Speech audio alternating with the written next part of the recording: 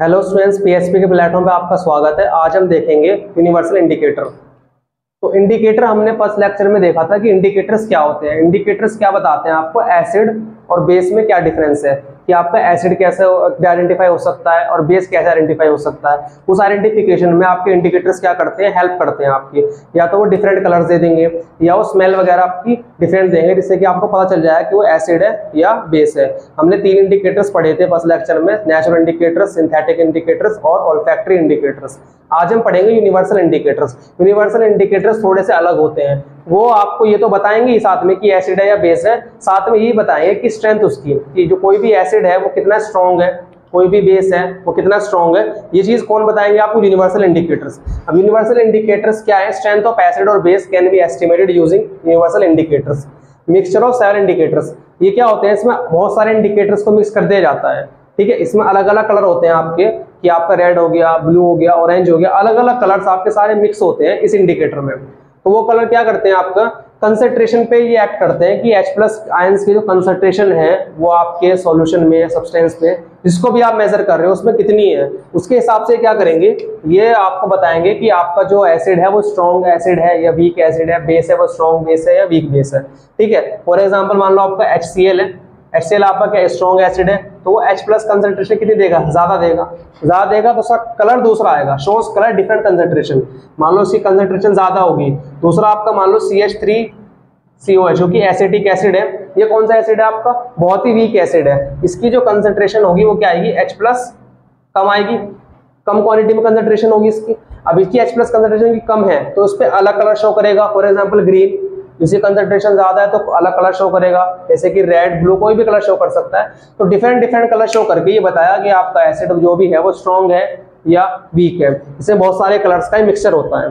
ठीक है, अगला आपका है पीएच स्केल पीएच स्केल क्या होता है? एक स्केल होता है for measuring H plus concentration in a solution किसी भी सॉल्यूशन को आप मेजर कर सकते हो पीएच स्केल से। उसमें आप पता कर सकते हो कितना एच प्लस कंसेंट्रेशन है। यानी कोई भी सॉल्यूशन जब कोई भी सब्सटेंस आपने लिया एसिड या बेस को वाटर में डिजोल्व कर दिया। अब डिजोल्व करने के बाद वो सब्सटेंस आपका आयन से ब्रेक हो गया। आपको पता है एसिड जो होते हैं, वो एच प्लस क्या है? अपने लिबरेट करते हैं जब भी वो ब्रेक होंगे। तो एच प्लस कंसेंट्रेशन की ये मेजरिंग करके कि एच प्लस कंसेंट्रेशन कितना है, उस हिसाब से ये पीएच स्केल आपका बना है। उससे बताएगा आपको कि वो एसिड कितना एसिडिक है और कितना बेसिक है। तो P N P H stand for potence जो पी होता है पीएच है पोटेंस से पोटेंस की फुल फॉर्म होती है और ये जर्मन वर्ड पावर से निकला है। इसका जो जर्मन वर्ड है, इसका मतलब होता है पावर ठीक है? अब मान लो पीएच किसी चीज़ का सेवन है तो वो सॉल्यूशन आपका क्या है? न्यूट्रल होगा। ठीक है? अगर पीएच आपका सेवन से कम है तो वो क्या होगा? एसिडिक होगा।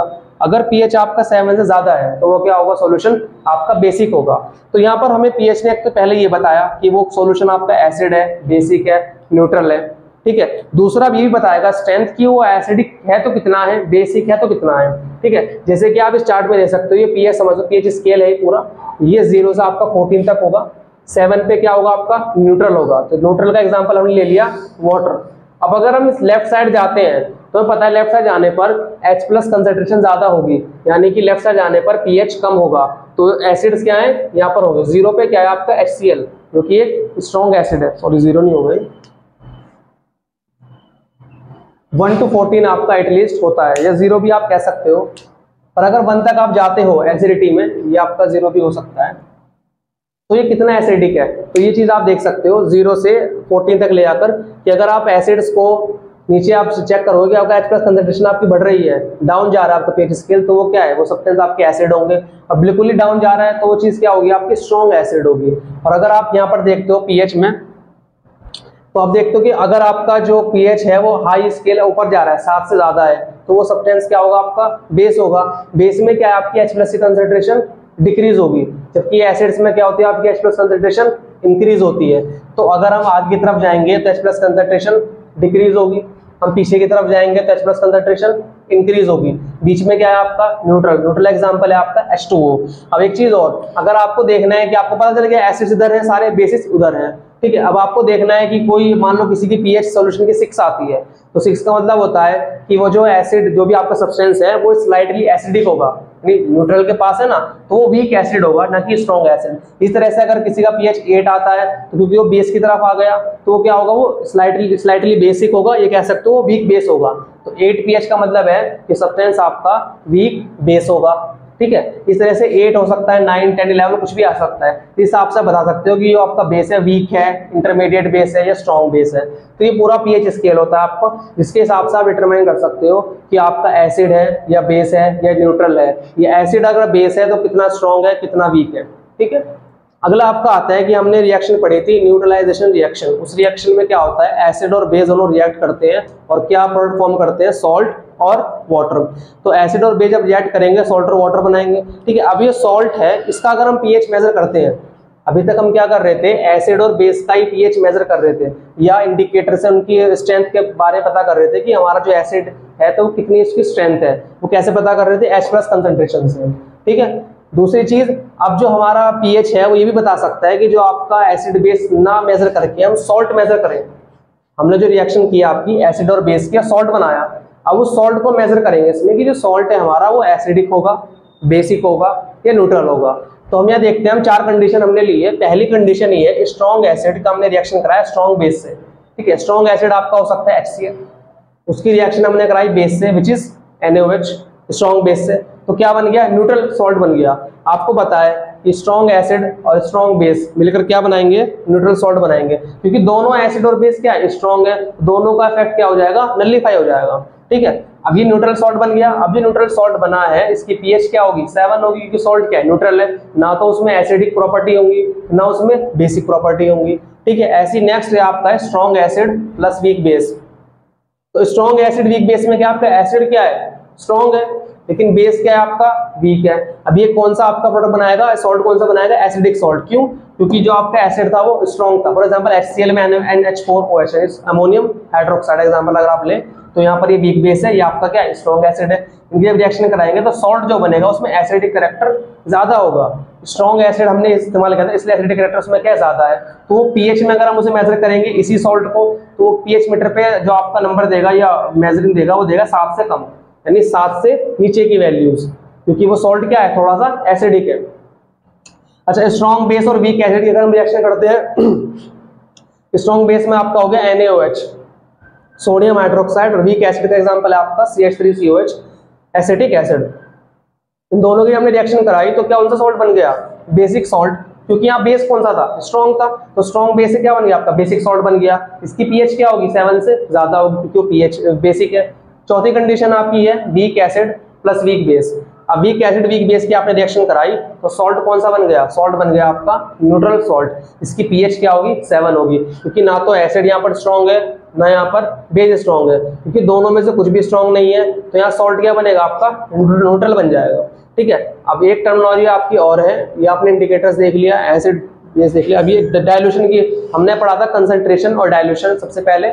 उस हमने क्या पढ़ा था? कंसंट्रेशन क्या होता है? कंसंट्रेशन हम कोई भी आपका एसिड या बेस ऑफ़ कंसंट्रेट कब कहते हैं? जब कहते हैं जब उसमें एसिड या बेस की कंटेंट ज़्यादा हो और पानी का कंटेंट कम हो वाटर का कंटेंट कम हो और एसिड या बेस ज़्यादा हो तो वो चीज़ कहलाती है कंसनट्रेटेड एसिड कंसनट्रेटेड बेस ठीक है?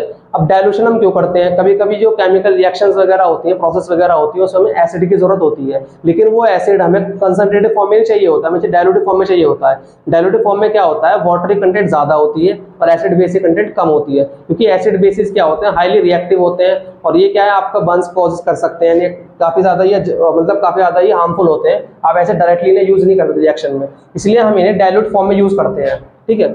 नॉर्मल रिएक्शन कैरी आउट करने के लिए हम डायलोट डायरेक्ट फॉर्म यूज़ करते हैं। अब डायलूशन की प्रोसेस दो तरीके से हो सकती है। पहली प्रोसेस का तरीका है कि हम वाटर को एसिड में ऐड करें, यानी एसिड हमने लिया और उसमें हमने वाटर ऐड किया, ठीक है?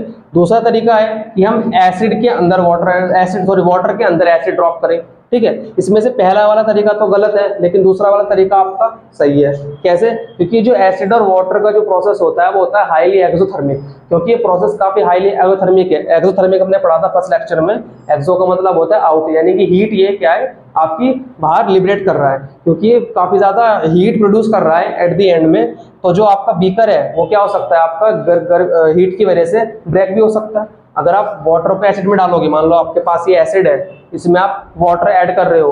अब एसिड का कंटेंट इसमें बहुत ज़्यादा है और वाटर आप थोड़ा थोड़ा ऐड कर रहे हो इतनी ऊपर से तो आपका क्या होगा? जो मिक्सचर है वो स्प्लैश आउट हो सकता है, इससे बंद हो सकते हैं, जल सकती है आपकी स्किन दूसरा बीकर ब्रेक हो सकता है, क्योंकि प्रोसेस क्या है? हाईली एगोथर्मिक है। अब एसिड का कंटेंट ज़्यादा है एसिड रिएक्टिव है तो वो क्या करेगा? बहुत तेज़ी से रिएक्शन प्रोसीड करेगा। रिएक्शन इतनी तेज होगी ज़्यादा रिएक्टिव होगी तो हीट भी बहुत ज़्यादा प्रोड्यूस होगी। ज़्यादा प्रोड्यूस होगी हीट क्योंकि वाटर तो आपको पता है नॉन रिएक्टिव है। वाटर इतना रिएक्टिव नहीं है। वाटर आपका न्यूट्रल रहता है। एसिड आपका न्यूट्रल नहीं है। अब इसमें थोड़ा सा वाटर जाते ही रिएक्शन बहुत फास्ट होगी। बहुत फास्ट होगी तो हीट बहुत ज़्यादा निकलेगी। ज़्यादा हीट निकलेगी तो ये गर्म हो सकता है, टूट सकता है। ठीक है, या वाटर इस पे गिरेगा तो स्प्लैश हो सकता है। ठीक है बिखर सकता है, किसी के हाथ पे गिर सकता है एसिड सारा तो वो जल सकता है। दूसरा क्या है? दूसरा एसिड अब दूसरा तरीका है आपका एसिड को जब वाटर में डाल लो तो ऐसा कुछ नहीं हो सकता। क्योंकि जब आप एसिड को आप ड्रॉपर ले सकते हो लेबोरेटरी में अवेलेबल होता है उस ड्रॉपर से आप ड्रॉप वाइज वाटर में ऐड कर रहे हो एसिड जब ड्रॉप वाइज आप ऐड कर रहे हो एसिड को वाटर में तो कुछ प्रॉब्लम नहीं होती है। आपका एसिड इजीली ऐड हो जाता है। इसमें क्योंकि आप थोड़ा थोड़ा एसिड ऐड कर रहे हो वाटर में तो इसमें आपका ना तो बीकर क्या है? गर्म होगा। क्योंकि रिएक्शन वो छोटे लेवल पे होगी वो स्लो स्लो होगी। ठीक है? तो हमने देख लिया डायलूशन की प्रोसेस आप कैसे करोगे और कैसे नहीं। तो यहाँ पर आपका यूनिवर्सल इंडिकेटर्स और डायलूशन का जो आपका प्रोसेस है, वो कंप्लीट होता है। तो मिलते हैं नेक्स्ट वीडियो में कि उसमें हम पीएच की इंपॉर्टेंस देखेंगे।